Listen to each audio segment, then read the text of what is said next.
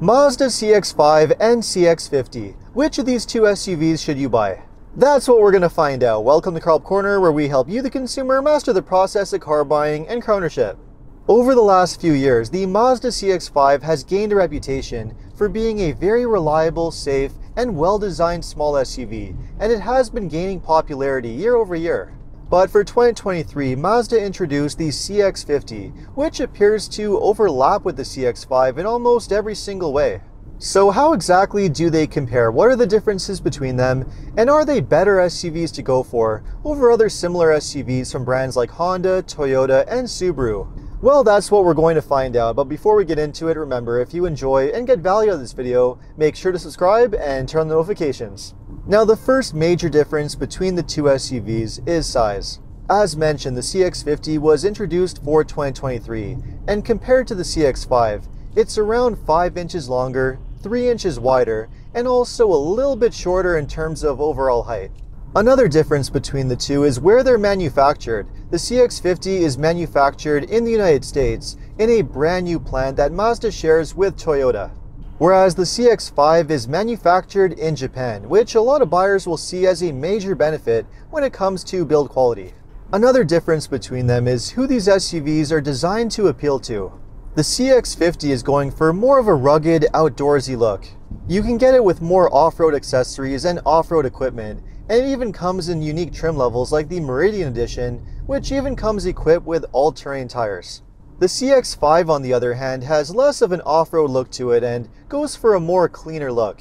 Now even though this is a 7-year-old design, it has aged remarkably well and still looks just as fresh and modern as the day it was released, which is a huge testament to Mazda designers. Mazda has also constantly updated the CX-5 to help keep it fresh. For 2024, they've introduced a new trim level that's called the Suna in Canada or the Carbon in the United States. It's available in a few very unique and vibrant colors like the zircon metallic paint like my test car is here, and it also comes with some really nice black accents, including a black grille surround, black mirror caps, and also 19-inch black alloy wheels for a really sharp and sporty look. But even though cosmetically the CX-5 and CX-50 may appear to be a little bit different, they are absolutely identical in terms of the drivetrain options that you can get underneath the hood. Both SUVs come standard with the same naturally aspirated 2.5 liter four cylinder engine that comes connected to a 6 speed conventional automatic transmission with standard all wheel drive. This engine produces 187 horsepower and 187 pound feet of torque, which actually feels more than adequate for an SUV like this. It's certainly not quick, but it feels more than adequate for daily driving. And not only that, but this is also a relatively smooth and refined engine. The 6-speed auto is also a very smooth shifting transmission, and a lot of buyers will appreciate the fact that Mazda still uses a conventional automatic transmission, as opposed to a CVT or a dual clutch, which are a lot more complicated.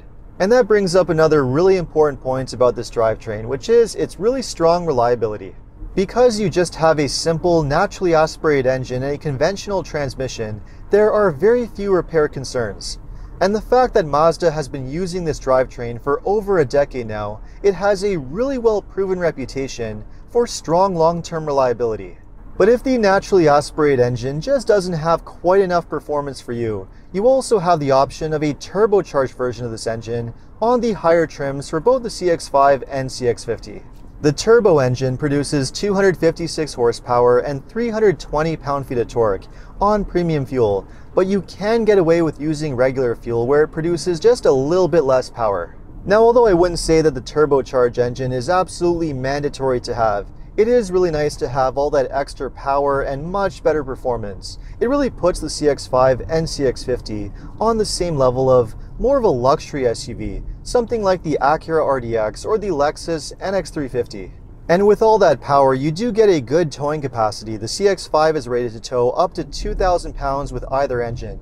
But with the turbo engine, you can tow up to 3,500 pounds with the CX-50, which is much better than other similar crossovers. With that said though, because these are relatively large displacement engines, the fuel economy is not really the best for the class. Both SUVs are only rated for around 22 to 28 miles per gallon, or roughly 9 to 11 liters per 100 kilometers. Now the naturally aspirated engine is rated for slightly better fuel economy than the turbo, but either way, if you want to have the best fuel economy, there are better SUVs out there. And unfortunately, neither the CX5 or the CX50 are currently available as a hybrid or plug-in hybrid, which is another disappointment.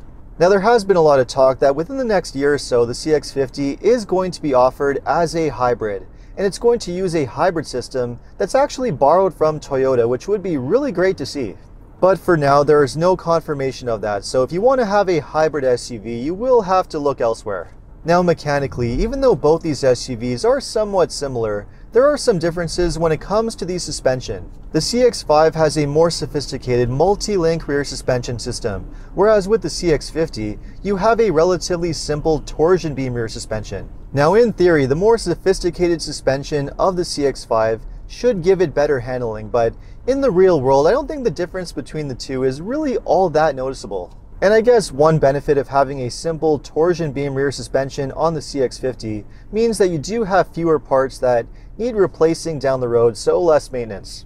At the end of the day, these are both really fun SUVs to drive. They feel surprisingly nimble and well balanced with really good handling. The ride quality of both SUVs is not too bad either, although they do both ride a little bit on the firm side, and they're not always the best at absorbing all the bumps on the road, I certainly would not call them uncomfortable. They both have this really nice ride and handling balance and sporty feel that Mazda has become really well known for.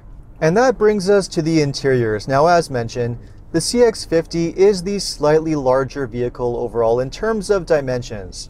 But interestingly, that doesn't necessarily translate into having a lot more interior space. In fact, in terms of passenger volume in the front and rear seats, both SUVs are actually very similar.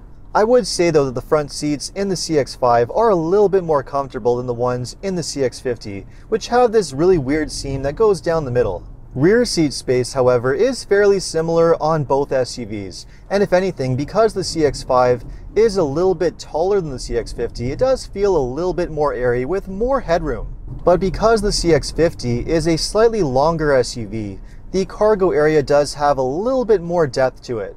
You just get a little bit more space in the CX50 for fitting all your stuff, but again, in terms of overall cargo volume, both SUVs are still very similar.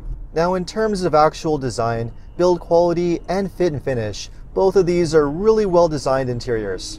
You have the same basic gauge cluster, the same straightforward to use climate control setup, and the same infotainment system, which uses a rotary dial on the center console for controlling most of the functions. The infotainment system does have a pretty straightforward user interface, and you can use it as a touchscreen when using Android Auto and Apple CarPlay, but it does take some time to get used to, especially with that rotary dial. It has to be said though, when compared to most other SUVs that are in this price range, both the CX-5 and the CX-50 do feel like proper premium SUVs, and maybe even borderline luxury SUVs. The build quality and fit and finish is really excellent, and you also get some really nice color options to choose from. Not only a simple plain black or a pure white leather interior, but you can even choose between a really nice terracotta interior like my test cars here, a dark brown cocoa interior, and even a red leather interior. And those are the kind of options and color choices that you really only see on luxury SUVs. But again, the differences between the two are really not that great. I guess one notable difference is that with the CX50, you do have the option of a panoramic sunroof, whereas on the CX5, you can only get a normal sunroof, even though the distance that both sunroofs open is about the same.